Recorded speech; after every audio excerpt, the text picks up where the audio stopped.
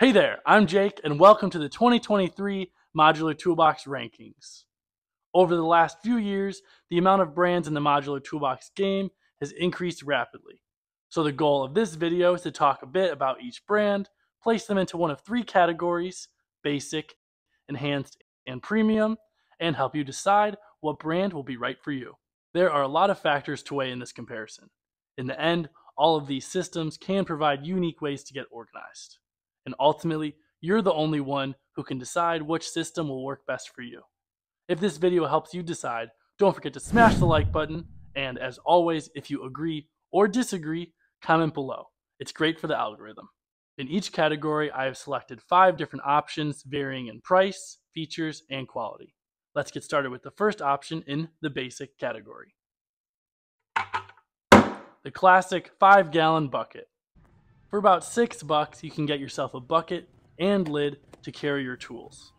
Obviously, I'm kind of joking here, but I've used buckets for tons of different projects, and they can be very versatile, especially if you get one of these bucket organizers. They have tons of pockets for hand tools, and you can also create a rolling setup using a hand truck or dolly like this one available on Amazon. I'll link it in the description below. Moving on to the enhanced category. The systems in this category range in price from 150 to about $249. However, some provide many more features for the price than others. Let's start with Bauer from Harbor Freight. The first of the three main things I like about the Bauer system is the price. The three main boxes are less than $150, and the two additional items are fairly priced as well. One slight dislike is the manual side connecting mechanism. It works fine, but other systems are slightly more convenient. Another feature I'm a fan of are the top box's six included bins. They have an attached lid, and this is a pretty unique feature across all the systems in this video. The removable dividers are a nice touch as well. One design flaw with the middle box is that it can only be fully opened when the handle is down, but that's actually more common than you might think. The third thing I like are the two dividers slash organizers included in the middle box. They have slots for hand tools and elastic bands to keep everything in place.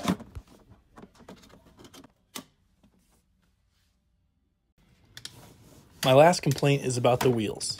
They are a small diameter and completely made of plastic, which will probably make traversing stairs, longer trips, and maneuvering job sites more annoying. One area for improvement is the latch style and location on the bottom box. I wish this lid hinged instead of coming completely off, and I hope that all the latches switch over to a wire gate style like many of the better boxes in this video. For the first visit to the premium category, with systems costing $250 and up, is the newest competitor to the market, Klein Modbox. My previous video is actually a first impressions of this system, and overall I'm very impressed. For more details, I'll link that video right below the like button, and subscribe for an upcoming in-depth review against Packout and Ridgid 2.0. Modbox has definitely capitalized on proven design elements, and innovated as well. To learn more about these unique features, check out that first impressions video.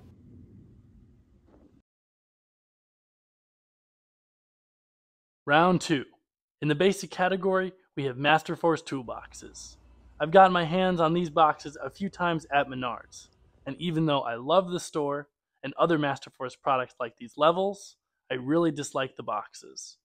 The first thing I want you to notice is how similar Masterforce boxes are to Bauer, but they are more expensive. In addition to sharing the same flaws as Bauer, the bins are worse in the top box. The dividers in the middle box don't have the elastic, and no other improvements have been made. This system is also worse than Bauer because it lacks a crate or organizer. Those are just a few reasons why I placed this system in the basic category instead of enhanced like Bauer. In the enhanced category, Kobalt K-Stack. K-Stack has been around for a little while now, but they've been very slow at getting into stores and releasing new items. For $219, the quality and features are not bad, but they really need to start rolling out the new accessories that mount onto the cleats and releasing new boxes. Although this system has these plastic manual side connectors that are not my favorite, this system does provide flip up middle connectors. This will allow for expansion into half width boxes and bags. Overall, I think this system has a lot of potential. It's a thoughtful design that includes standard features, but has also thought about customization and expansion.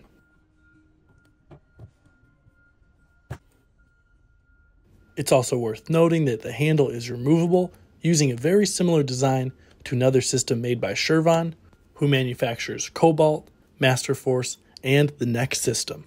In the premium category is Flex Stack Pack. Overall, Stack Pack has a lot of potential.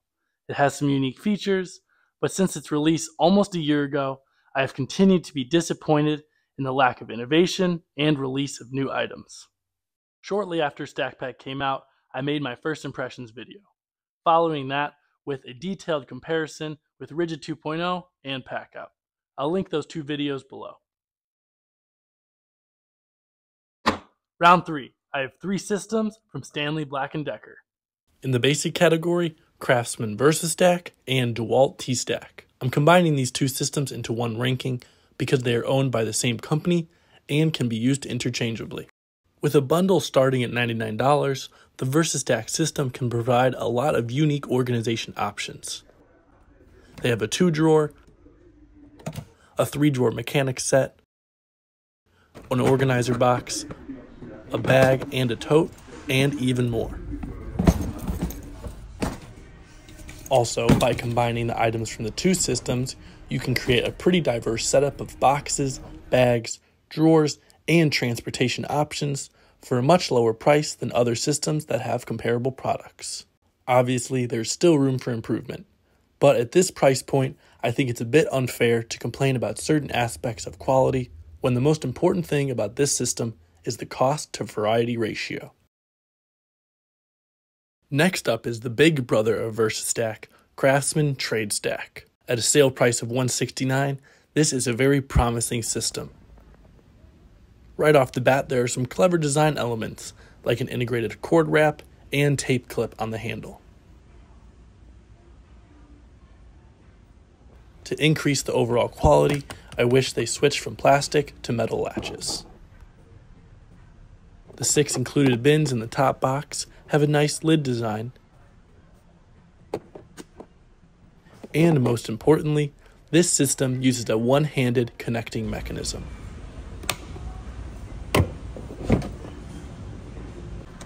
Inside of the middle box, there is a unique tray design. And there is an identical one in the bottom rolling box.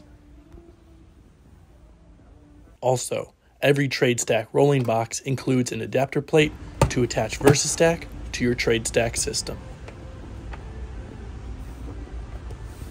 So, in addition to the variety of items the trade stack system has, like drawers, a very high quality bag and tote, the compatibility with VersaStack and T-Stack greatly increases the size of the system.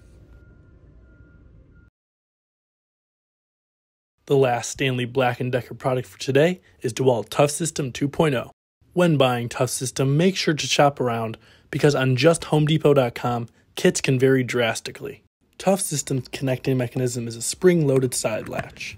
I'm not a big fan of this design because I think it's not as secure as others, and it's less convenient than a front latch. The three main boxes have pretty standard features, like bins and trays, but the rolling box does have a removable handle, which is a must have for some users.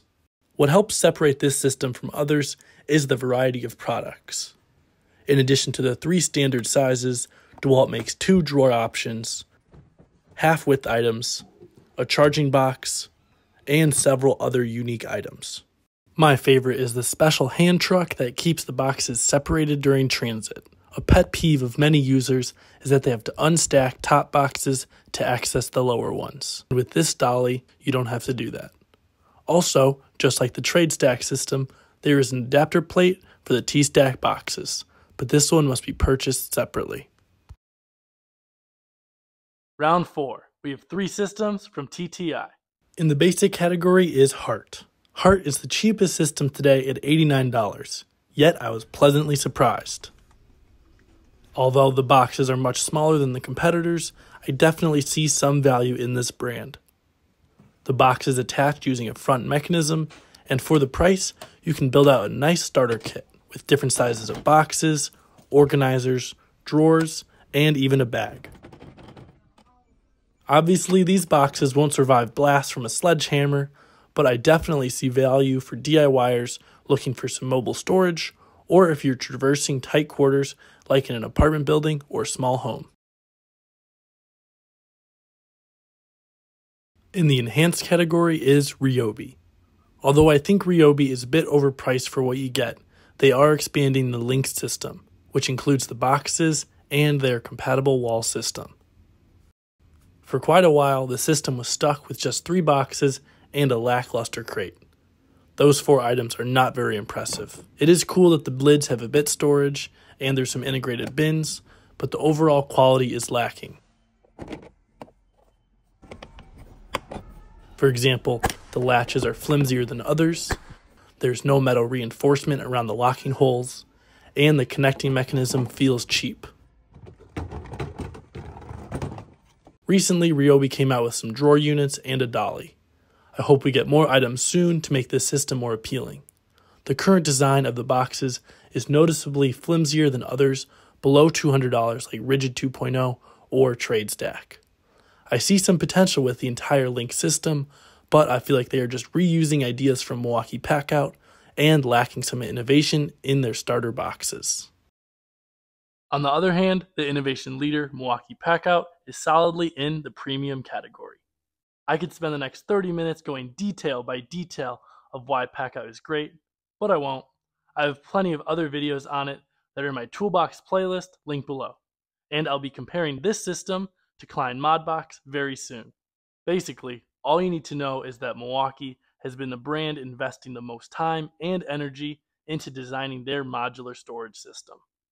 Packout currently has the most products of any of these brands today, and it's still growing. There is also a huge community of designers that make even more products that further enhance Packout's usability, like me. Check out my unique organization and customization products on my website, weihedesigns.com. For our fifth and final round, let's jump back to the basic category. The Husky Connect system at $99 makes it the second most affordable system.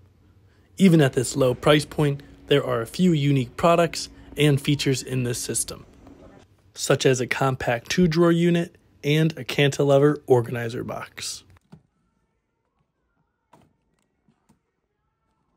Although I'm not a fan of side latches, this design is very sleek.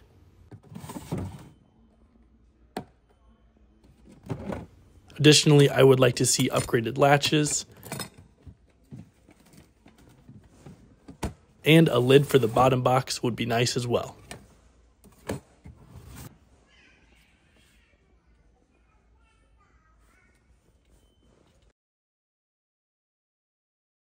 The final enhanced system, Ridgid 2.0, is greatly undervalued. Whether you buy it at full price or on sale, you're getting into a system with a lot of potential. As I've mentioned in my previous videos about this system, there's a decent variety of items and unique interior and exterior features. The 28 inch mobile job box is very intriguing, but the system also includes an organizer and a cooler.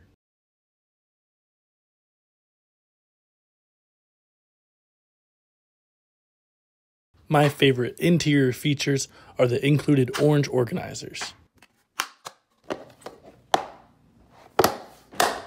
And two awesome exterior features are the included wall mount cleats, and there's a feature no other system has a completely removable handle with the wheels. For more details on this system, I'll link my previous videos below.